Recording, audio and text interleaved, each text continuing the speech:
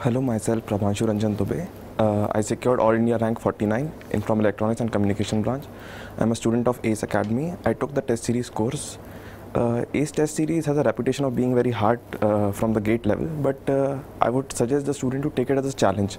Because the thing was, if I could score more than 65 marks in full length mock test series in ACE, I could get uh, around 70 marks. That was my thinking about GATE. So some of my friends suggested me that it's very hard, you can't do it.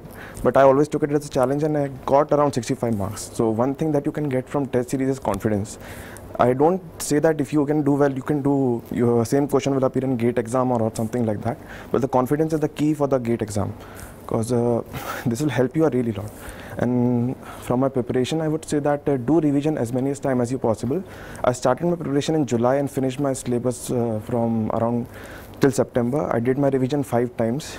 So I would suggest that do revision as many times as possible.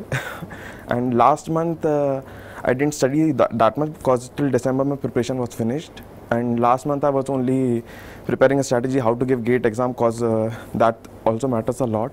And uh, something I tell, I want to tell that uh, believe in yourself because uh, it doesn't cost anything to believe in yourself. Last, uh, so you can think that I am a GATE topper in last one month because uh, actually I was so confident that I would get in top 100. I was I was thinking about my GATE speech that all I would give. So please believe in yourself that you can that will help you really lot in your GATE exam. Thank you and all the best for all the future aspirants.